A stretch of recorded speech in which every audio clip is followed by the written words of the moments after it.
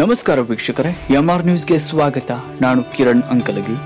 ಇದೀಗ ಮುಖ್ಯಾಂಶಗಳು. ತಮದಡ್ಡಿ ಪುನರ್ವಸತಿ ಕಾಮಗಾರಿಗೆ ಉಚ್ಚ ನ್ಯಾಯಾಲಯದಿಂದ ತಡೆಯಾಜ್ಞೆ. ಹೋರಾಟ ಪ್ರತಿಭಟನೆಗಳಿಂದ ರಾಜ್ಯವ್ಯಾಪಿ ಸುದ್ದಿಯಾಗಿದ್ದ ಬಾಗಲಕೋಟೆ ಜಿಲ್ಲೆಯ ರಬಕವಿ ಬನಹಟ್ಟಿ ತಾಲೂಕಿನ ಹಳ್ಳಿಂಗಳಿ ತಮದಡ್ಡಿ ಪುನರ್ವಸತಿ ಕೇಂದ್ರದ ಕದನ ಇಂದು ಮಾನ್ಯ ಉಚ್ಚ ನ್ಯಾಯಾಲಯ ಕಾಮಗಾರಿಗೆ ತಾತ್ಕಾಲಿಕ ತಡೆಯಾಜ್ಞೆಯನ್ನ ನೀಡುವುದರೊಂದಿಗೆ ಪ್ರಕರಣಕ್ಕೆ ಅಲ್ಪ ವಿರಾಮವನ್ನ ನೀಡಿದೆ.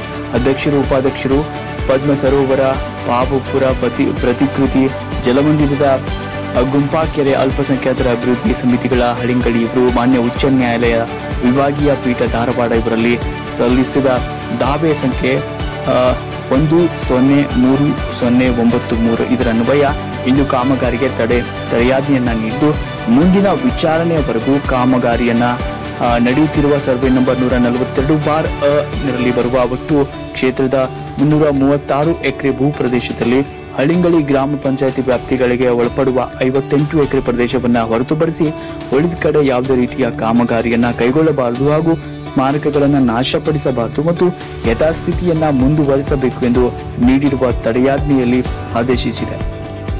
ಇನ್ನು ಪ್ರಕರಣದಲ್ಲಿ ಪ್ರತಿವಾದಿಗಳಾಗಿ ಕಾರ್ಯದರ್ಶಿಗಳು ಕಂದಾಯ ಇಲಾಖೆ, ಬೆಂಗಳೂರು ಜಿಲ್ಲಾಧಿಕಾರಿಗಳು ಬಾಗಲಕೋಟೆ, ತಹಶೀಲ್ದಾರರು ರಬಕವಿ ಬನಹಟ್ಟಿ ಉಪವಿಭಾಗಾಧಿಕಾರಿಗಳು ಜಮಖಂಡಿ, ಪೊಲೀಸ್ ವೃತ್ತ ನಿರೀಕ್ಷಕರು ಬನಹಟ್ಟಿ, ಪಿಎಸ್ಐ ತೇರ್ದಾಳ, ಸಹಾಯಕ ಕಾರ್ಯನಿರ್ವಾಹಕರಾಗರ ಅಧಿಕಾರಿಗಳು, ಕರ್ನಾಟಕ ನೀರಾವರಿ ನಿಗಮ ನಿಯಮಿತ ಹಾಗೂ ಭುವ ಮತ್ತು ಪುನರ್ ನಿರ್ಮಾಣ ಉಪವಿಭಾಗ ರಬಕವಿ ಮತ್ತು ಮಾನ್ಯ ಜಿಲ್ಲಾ ಉಪ ಅರಣ್ಯ ಸಂರಕ್ಷಣಾಧಿಕಾರಿಗಳು ಬಾಗಲಕೋಟೆ. ಹೀಗೆ ಒಟ್ಟು ಎಂಟು ಜನರನ್ನ ಪ್ರತಿವಾದಿಗಳನ್ನಾಗಿಸಲಾಗಿದ್ದು, ಮುಂದಿನ ವಿಚಾರಣೆಯನ್ನ ಸೆಪ್ಟೆಂಬರ್ ಹದಿಮೂರರಂದು ಕಾಯ್ದಿರಿಸಲಾಗಿದೆ.